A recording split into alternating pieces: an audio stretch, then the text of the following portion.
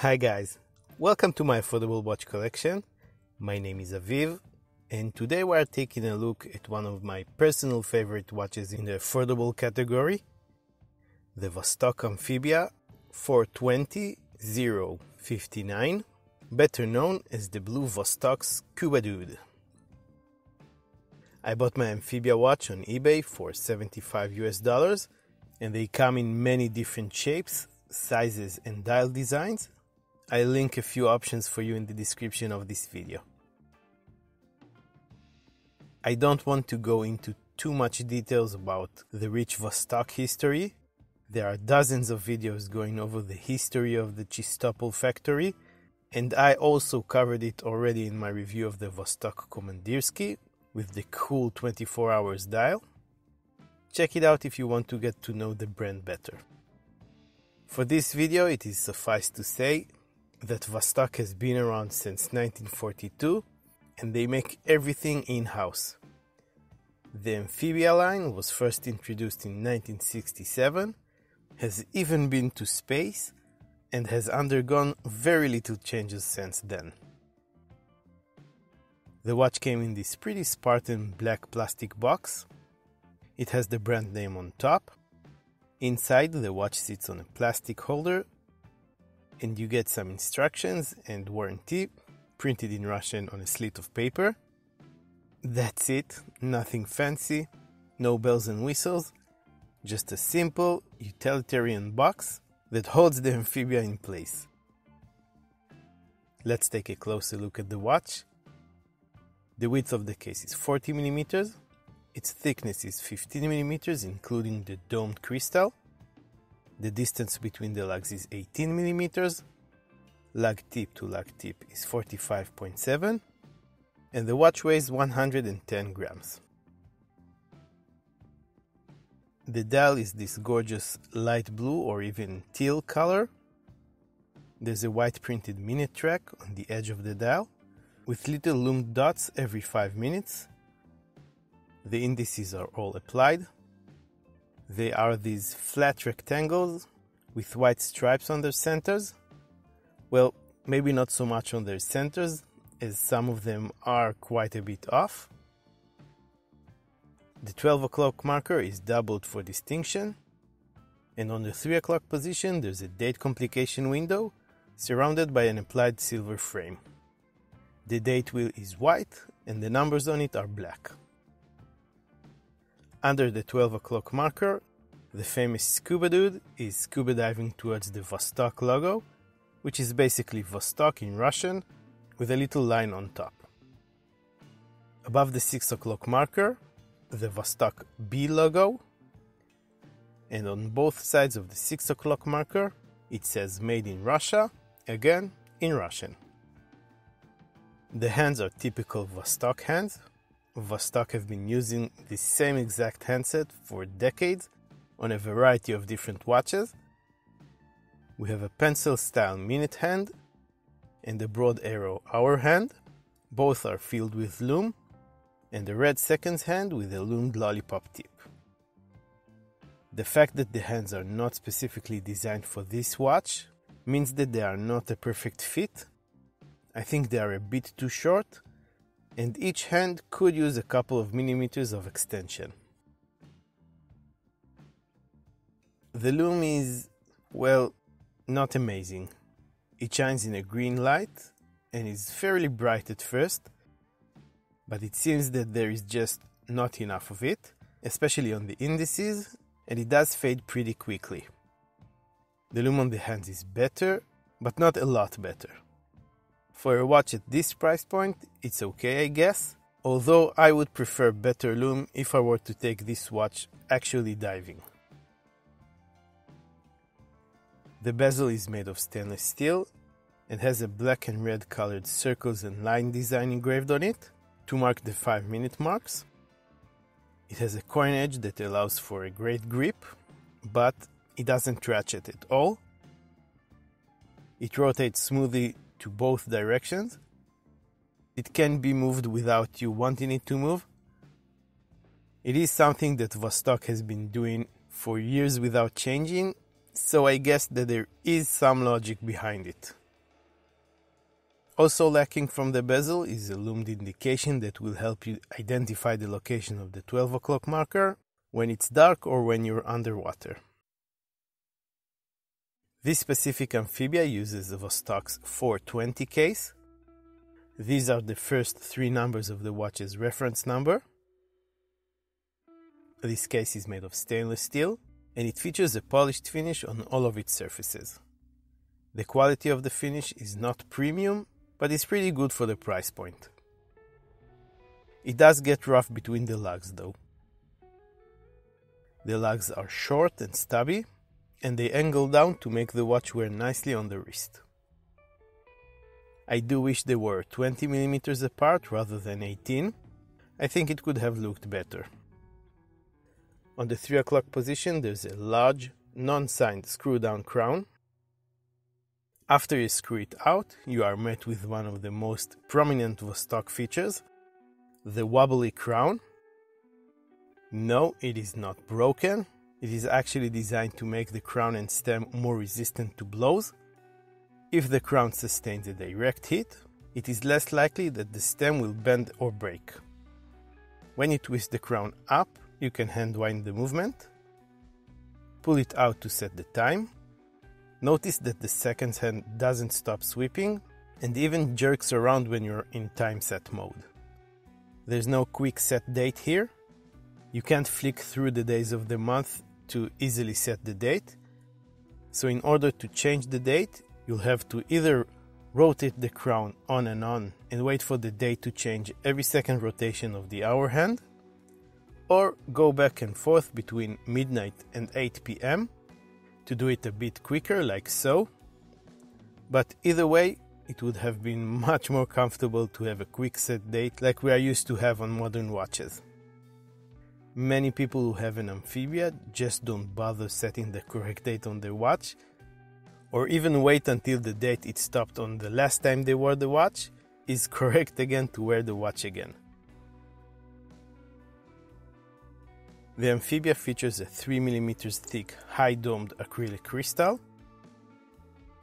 Although more prone to scuffs and scratches, it is part of the water resistant system Thanks to its relative flexibility, during diving, the pressure of the water will push down on it and it will make it expand and will actually increase the water resistance. Another part of the unique water resistant system here is the case back. It is made of stainless steel and has some Russian engraving on it. Amphibia in the center, shock resistant right above it, waterproof 200 meters on top, and automatic winding on the very bottom. Instead of the entire case back screwing directly onto the case, the case back is made up of two parts a plate and a ring. The plate sits on top of a wide rubber gasket, and the ring screws down on top of it. This way, the gasket doesn't get tarnished by the rotation of the case back the pressure of the water presses the back plate onto the rubber gasket, and again, the larger the pressure, or the deeper underwater the watch goes, the better the water resistance is. The official water resistance is 200 meters, but some pressure tests have shown that the amphibia can withstand more, in fact, much more pressure than that. The movement powering this amphibia is the Vostok 2416, an automatic movement made in-house in the Chistopol factory. It has 31 jewels and it beats at a lower rate than usual of 19,800 beats per hour. It hand winds, but it doesn't hack, and has that date complication with no quick set option. It has 31 hours of power reserve once it's fully wound, and the stated accuracy is between minus 20 to plus 60 seconds per day. According to Vostok, this movement has 10 years of service intervals. That means that 10 years will pass before you have to take it to the watchmaker for service. When I reviewed my Vostok Komandirsky, I didn't understand why Vostok bracelets get so much hate. Sure, it wasn't perfect, but it wasn't that bad either. and then I bought the Amphibia. This bracelet is bad. This bracelet makes the bad Seiko 5 SNXS bracelet feel like a luxury item. It is made of stainless steel and is constructed of folded links, designed to look like 5 links in each row, with a polished finish all over. It is very light and feels very teeny and very cheap. The clasp is especially bad. It is a very thin pressed metal that is so sharp on the edges you can probably use it as a weapon. It has a fold over security latch and it closes with friction only. There are no pushers here. It is brushed and has the Vostok logo pressed onto it. If you are getting one of these watches, do yourself a favor and change the bracelet. On my 7 inch wrist, this is just a beautiful watch in my opinion. The way that the light blue dial stands out is amazing. At 75 bucks, I think this is one of the best looking watches I own. It's quirky, but it wears nicely on the wrist and has a certain vintage charm to it. Once you replace the original bracelet with something else, it looks better and becomes much more comfortable too. The 40mm size of the case means it should wear great on different wrist sizes, both larger and smaller than mine. Legibility here is pretty good. I haven't had any issues being able to read the time at any time. So let's take a look at some pros and cons of the Vostok Amphibia. Let's start with the cons. And I think these are common downfalls both of watches at this price point in general but also of Vostok watches specifically. First, we have quality control that is neither here or there. Most chances are that you'll get a good watch, but the Chistopol factory is known to miss a few bad ones every now and then, and there are many reports of Vostok watches arriving defected straight out of the box.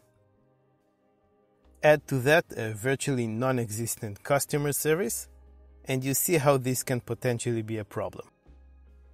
Looking at the watch itself though, we have the lume that leaves more to be desired, and the freely rotating bezel with no lume at all.